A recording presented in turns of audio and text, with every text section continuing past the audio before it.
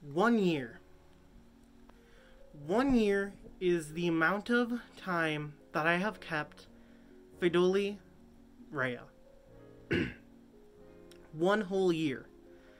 So, in this video, let's go ahead and look over that year and see how it all went, how it went down, how keeping them has gone over this past year, and do a little bit more of a recap as to what all is in the happenings and how I feel about them and the overall feeling of keeping Pheidole Rhea, the largest Pheidole species in the world.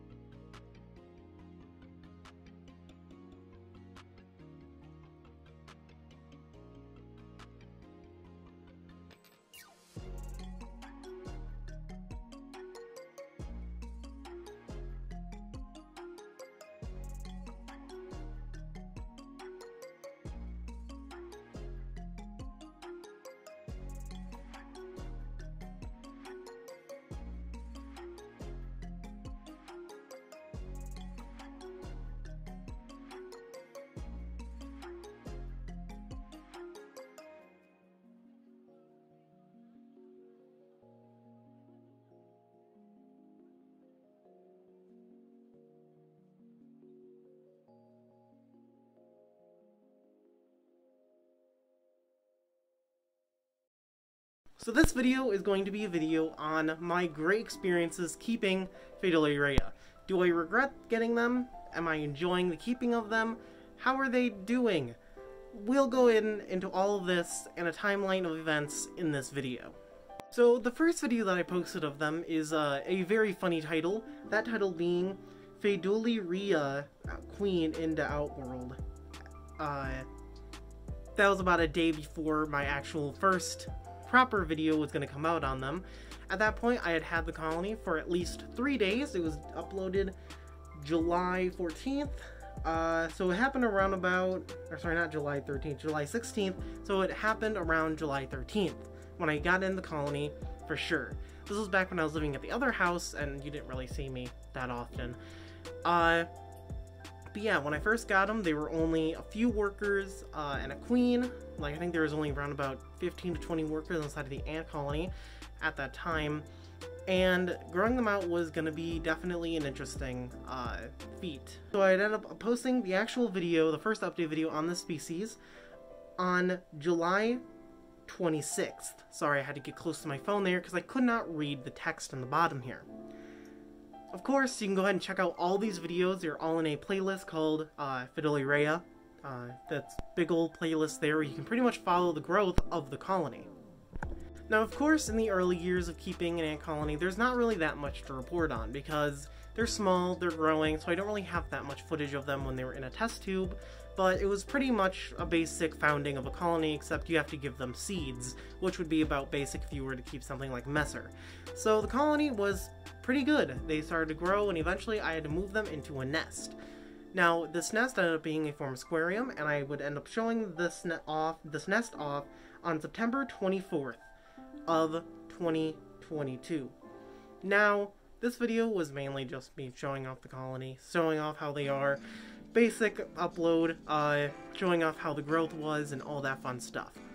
And the colony, I believe in this video, got its first major, I could be wrong, but at this point they definitely had gotten a major, and everything was going smoothly.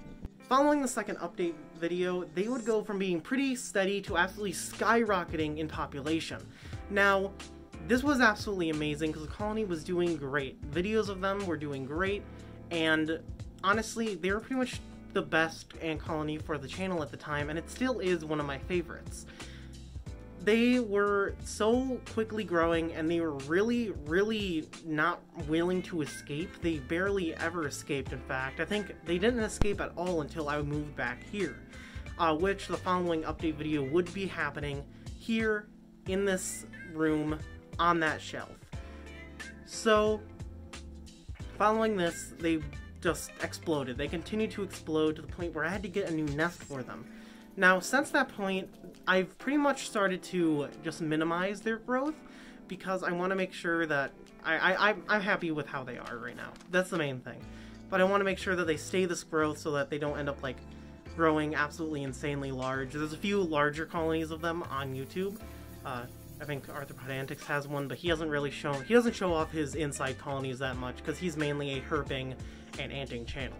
Anyways, that brings us to here. Right now, where I am, how am I thinking about this over the great year of growth and keeping? Well, to be completely honest with you, these are probably some of the coolest ants I've ever kept, and I definitely do not regret getting them or regret keeping them. I am enjoying the size that they are in right now. That's why there hasn't really been that many update videos on them, at least recently. The colony is still doing great. The colony is still live. They're still thriving. It's just I haven't been trying to grow them out as much because I don't want them to be grown out.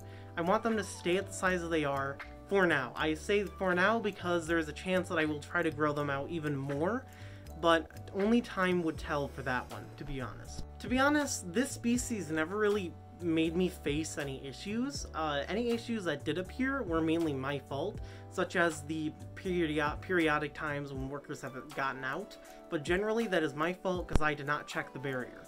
Now I'm in a constant daily thing where I come in here, I go ahead and check out their barrier because I know that if I don't, there's a chance of them getting out. So it's just mainly just being proactive about trying to keep them in more than anything else.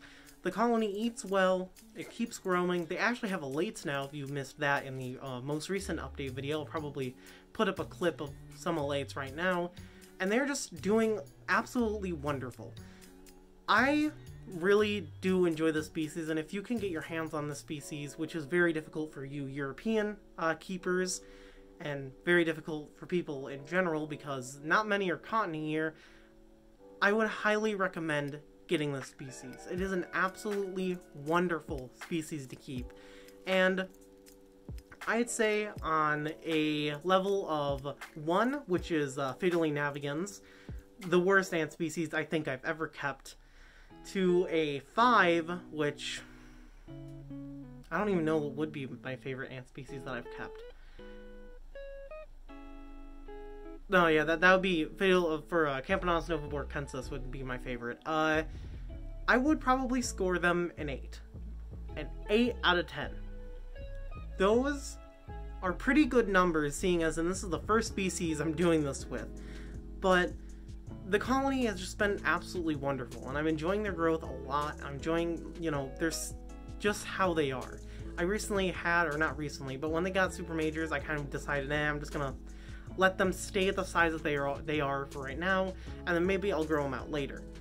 So for now, it's just gonna be steady. You'll still get update videos on them because I know that a lot of people like this species, but uh, don't expect any growth from them uh, in those update videos because honestly, there's not really much to report on except for the fact that they are still alive.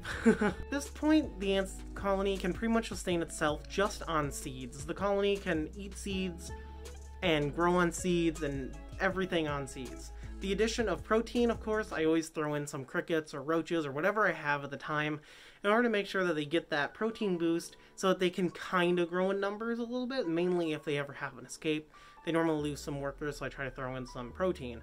But generally, the species doesn't really need protein, it seems. They seem to more or less just completely thrive off of seeds. But yeah, anyways, uh, that's it for this video. I hope you guys enjoyed. I want to make a video kind of like this for a little bit now for the species because I they they're the longest kept colony in my care. uh, I may end up doing one for the old novaeboracensis colony because that colony was really, really special. It was an awesome colony, and honestly, I feel like showing off my results and how I my experiences with these ant species can end up helping in people trying to figure out what ant species they want to keep and what may not work for them, what may be better, what may be anything. So yeah, I hope you guys enjoyed this video. Like the video if you liked it, dislike it if you dislike it, subscribe if you're new. Uh, check out the Patreon, check out all that. Normal uploads, maybe, hopefully soon. I don't know at this point. I need to see. Uh, probably Atta mexicana update coming eventually. So, uh, be excited for that. There's quite a bit to update you guys on. If you haven't seen the uh, stream highlights, I guess you can go ahead and check those out. They're on the channel, uh, where it shows them in pretty high definition, just doing their thing. So, uh, yeah, that's pretty much it. I hope you guys enjoy and enjoyed, and goodbye.